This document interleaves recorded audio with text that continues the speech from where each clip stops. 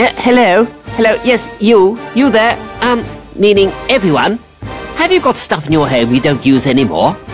You could shove it in the closet, or toss it in the trash, or you could turn that stuff into cash by selling it online. Whether you're clearing clutter, selling vintage records, or offering handmade jewelry, selling stuff online has never been easier or more profitable. Ka-ching!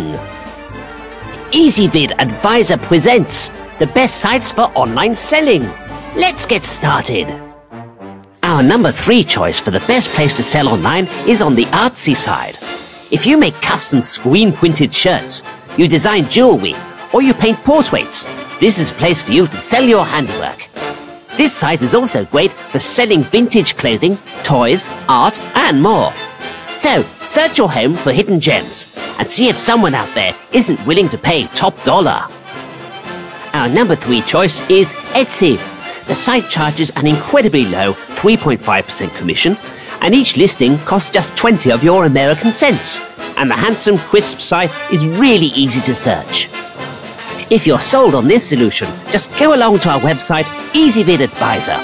You can get there by typing advisor.ezvid.com into your web browser. And when you get there, search for the best sites for online selling. If you like a soupçon of excitement with your online selling, then you might want to consider our number two site for online selling as your number one choice. With this service, sellers get two options. You can set a price for your items and wait for a sale, or you can set up an auction and let people bid back and forth. The auction approach might lead to a huge sale, yes, yes, yes! Or you might end up selling your stuff for peanuts. No, no, no. eBay is our number two choice. The auction system means there are potentially huge sales. It's a great platform for selling rare goods and has a huge variety of product categories. At number one, it's the company that's all but synonymous with online sales. But it's amazing how many people don't know how incredibly easy it is to sell stuff on the site.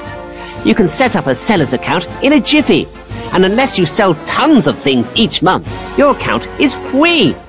When you do make a sale, the company takes a cut, but the whole process is 100% transparent. And it's pretty much impossible to reach more customers in more places, and you can't put a price on that. Sell on Amazon is our number one solution.